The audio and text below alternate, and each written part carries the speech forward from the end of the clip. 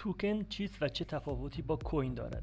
توکن ارز دیجیتالی است که خودش بلاکچین مستقل ندارد. اگر این تعریف برای شما نامفهوم است نگران نباشید و این فیلم را تا پایان دنبال کنید. در این فیلم ابتدا با بیانی کاملا ساده توضیح می‌دهیم که تفاوت کوین و توکن در بازار ارزهای دیجیتال چیست و سپس های ایجاد یک توکن به جای بلاکچین اختصاصی را بررسی می‌کنیم. همچنین چگونگی ذخیره سازی توکن ها در کیف پول ها را توضیح داده و در پایان انواع دسته‌بندی توکن ها را نام می‌بریم.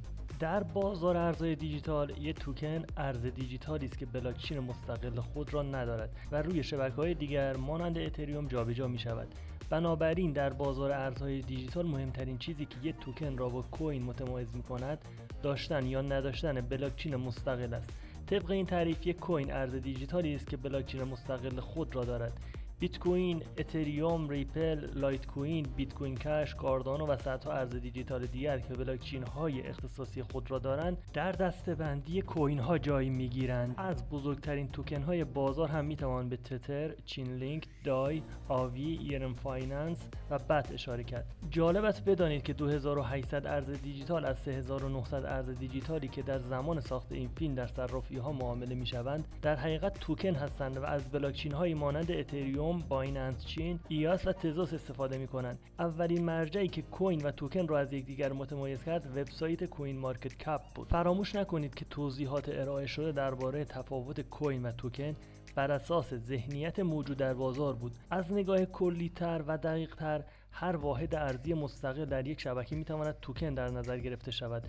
با این تعریف اتر ارز دیجیتال بومی شبکه اتریوم هم یک توکن محسوب می شود اما در بازار اتر را یک کوین در نظر می گیرند بیشتر توکن ها در دنیای ارزهای دیجیتال توکن های کاربردی هستند.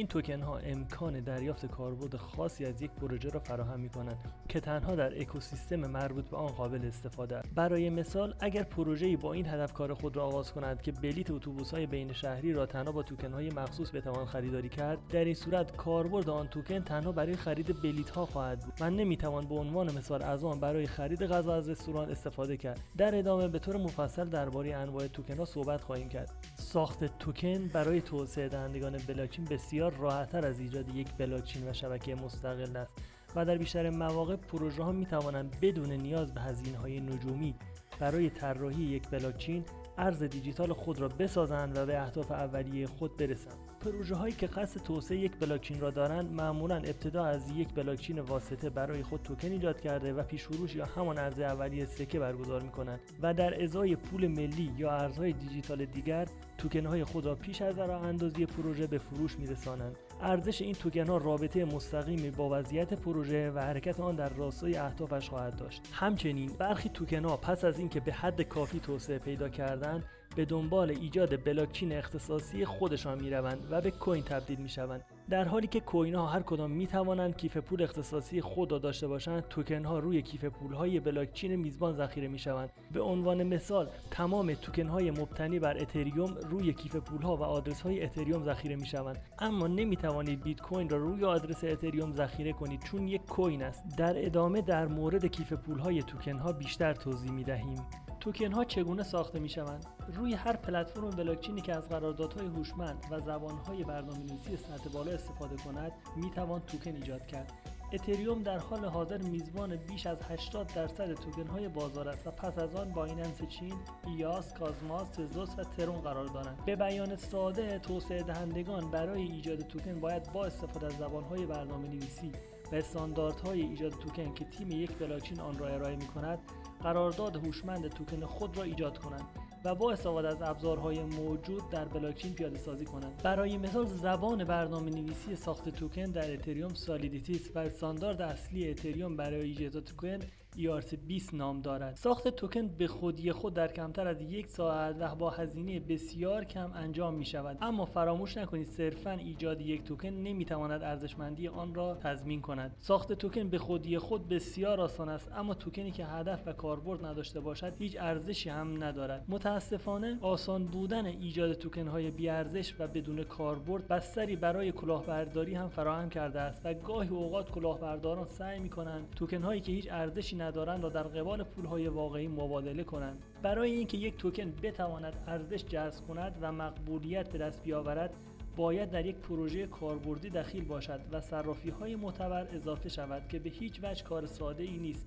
بدون اغراق می‌توان گفت بیش از 90 درصد توکن های بازار هدف و کاربرد خاصی ندارند و صرفا برای پر کردن جیب توسعه دهندگان عرضه شدند در سال 2017 که به جنون ICO ها مشهور است پروژه های کلاهبرداری زیادی با وعده های عجیب و غریب وارد میدان شدند و هر کدام با پیش فروش توکن های خود به سرمایه گذاران ناآگاه چند میلیون دلار پول به جیب زدند. در سال 2018 با ترکیدن حباب بازار تمام آن توکن ها به فراموشی سپرده شدند. هرگز نتوانستند حتی به قیمت اولیه خود برسند. چرا توکن؟ صرفه‌جویی در هزینه ها و زمان مهمترین مزیت ساخت توکن به جای یک بلاکچین جداگانه است. بیشتر پروژه هایی که می‌خواهند کار روی شبکه و بلاکچین خود را آغاز کنند در ابتدا بودجه و سرمایه کافی در اختیار ندارند و با توجه به گسترش سریع فضای ارزهای دیجیتال از نظر زمانبندی هم با مشکلات زیادی مواجه هستند. این پروژه ها می توانند در ابتدا خیلی سریع توکن خود را روی یک بلاکچین دیگر مانند اتریوم پیاده سازی کنند و با جذب سرمایه خصوصی یا عمومی و اضافه کردن آن به صرافی ها به سرمایه و زمانبندی مورد نظر خود دست پیدا کنند شبکه اصلی خود را راه اندازی کنند و بعد توکن ها را به بلاکچین اختصاصی خودشان انتقال دهند.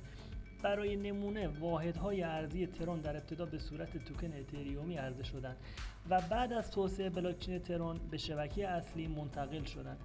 در خیلی از موارد هم اصلا نیاز به ساخت بلاکچین جداگانه برای یک پروژه احساس نمی شود و پروژه می تواند از امنیت بالای بلاکچین میزبان نهایت استفاده را ببرد.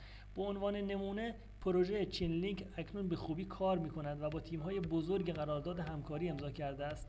اما توکن بومی آن یعنی لینک که در زمان ساخت این فیلم از نظر ارزش بازار در رتبه پنجم بازار قرار دارد روی اتریوم کار می کند.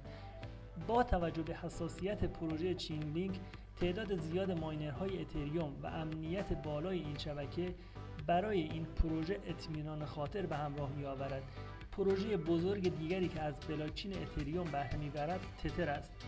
این استیبل کوین که برای حفاظت از سرمایه گذاران در برابر نوسانات ساخته شده است و قیمت آن با توجه به داشتن پشتوانه دلاری همیشه یک دلار است توکن های خود را روی چندین بلاکچین امن عرضه کرده است و نیازی به ایجاد بلاکچین اختصاصی نمی‌بیند. کیف پول های توکن ها هر توکن می تواند روی تمام کیف پول ها و آدرس های بلاکچین میزبان ذخیره و منتقل شود. برای مثال یک توکن اتریومی مانند چین لینک یا تتر را می توانید روی کیف پول و آدرس های اتریوم ذخیره می کنید به بیان ساده با داشتن یک کیف پول و یک آدرس اتریوم می توانید تمام توکن های مبتنی بر آن را ذخیره کنید. تتر می خواهید آدرس کیف پول اتریوم خود را بدهید. چین لینک می خواهید باز هم آدرس کیف پول اتریوم خود را بدهید. در مورد بلاکچین های دیگر مانند ترون بایننس چین EOS و تزوس هم به همین صورت توکن ها روی کیف پول های هر کوین ذخیره می شوند البته در بلاکچین های جدید مانند پولکادات و آوالانچ این امکان وجود دارد که توکن ها روی کیف پول های اختصاصی با آدرس های متفاوت هم ذخیره شوند. انواع توکن. توکن ها را از نظر نوع می توان به چندین دسته متفاوت تقسیم کرد. طبقه بندی توکن ها مانند طبقه بندی هر چیز دیگری نسبی و وابسته به اشخاص است. و هر کس می تواند آنها را از جنبه های مختلف تقسیم بندی کند. با این حال در بین اغلب جامعه ارزهای دیجیتال توکن ها در ابتدا به دو دسته کلی مسئلی و غیر مسئلی تقسیم می شوند و سپس در هر کدام از این دسته ها می توان دوباره طبقه بندی انجام داد. تفاوت توکن غیر مسئلی و مسئلی قبل از اینکه توضیح بدهیم یک توکن غیر مسئلی چیست لازم است یک قدم عقبتر برویم و تفاوت مسئله بودن یا تعویض پذیر بودن با غیر مسئله بودن یا غیر قابل تعویض بودن را بدانیم در اقتصاد یک کالا یا پول در صورت مسئله یا تعویض پذیر تلقی می شود که واحدهای آن با یکدیگر قابل تعویض باشد و نتوان هیچ کدام از آنها را کم ارزشتر یا با ارزشتر از دیگری دانست. به عنوان مثال بیت کوین، دلار، ریال و به طور کلی اسکناس ها در دسته دارایی های مسئله قرار دارند.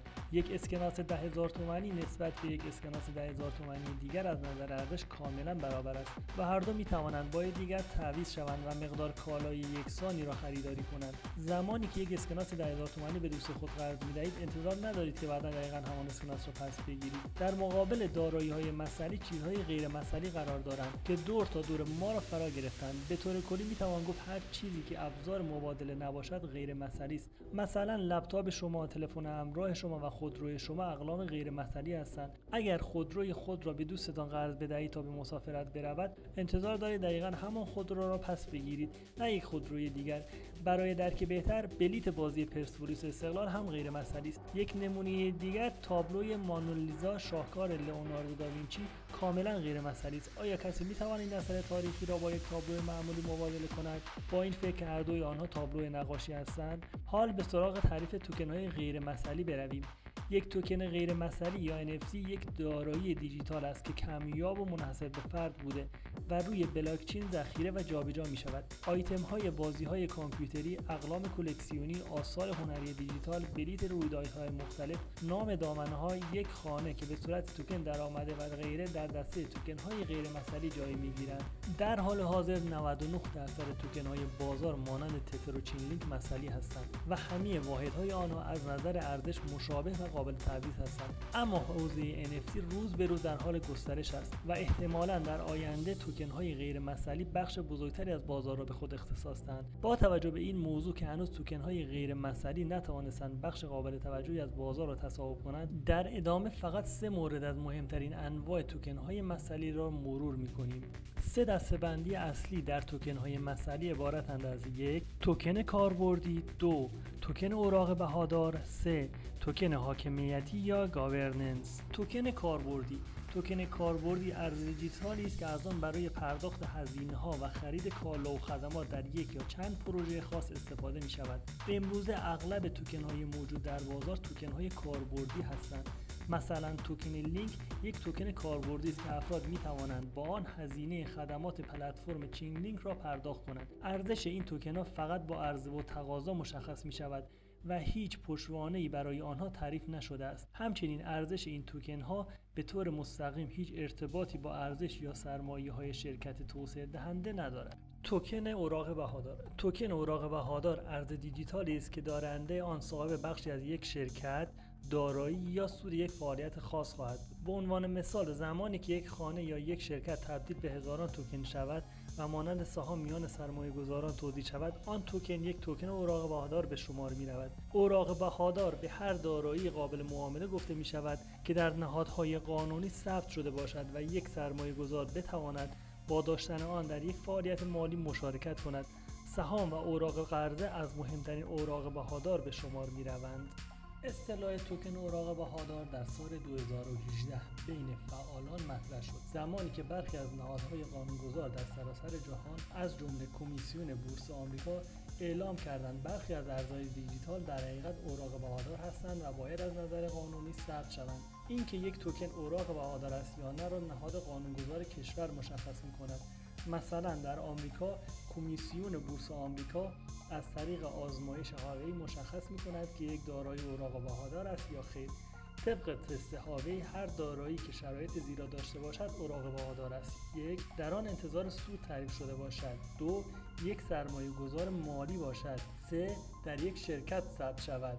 چهار این سود باید از فعالیت یک شخص سالس به دست آید. مزیت توکن های اوراق بهادار نسبت به اوراق بهادار سنتی این است که با استفاده از فناوری بلاکچین سرمایه گذار می تواند به جای استفاده از کارگزاری ها توکن خود را روی کیف پول شخصی ذخیره کند و در زمان معامله به راحتی آن را انتقال دهد. همچنین این نوع توکن در مراجع قانونی ثبت می شود و این موضوع ریسک کلاهبرداری را کاهش می دهد. توکن حاکمیتی توکن حاکمیتی یا governance ارز دیجیتالی است که دارنده آن می تواند با آن در تصمیم گیری ها و رای گیری ها برای آینده یک سیستم یا شبکه نقش داشته باشد به عنوان نمونه توکن یونی سواب یک توکن حاکمیتی است که دارنده آن می توانند در تصمیم گیری های مهم این صرافی غیر متمرکز حق رأی داشته باشد توکن های حاکمیتی اغلب اوقات در طبقه توکن های کاربردی جای می گیرند و این یعنی یک توکن حاکمیتی می تواند توکن کاربردی هم باشد. جمع بندی در این فیلم به هر آنچه که نیاز بود درباره توکن در حوزه ارزهای دیجیتال و تفاوت آن با کوین بدانیم اشاره کردیم.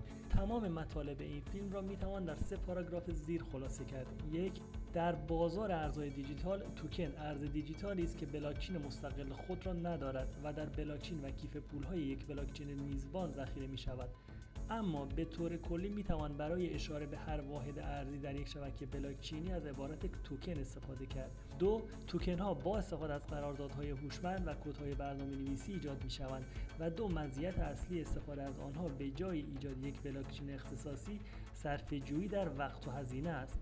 سه توکن ها از نظر نوع می توانند در ده ها دسته بندی جای بگیرند. اما در میان اغلب فعالان این حوزه در حال حاضر آنها به سه نوع توکن های کاربردی، اوراق بهادار و حاکمیتی طبقه بندی می شوند.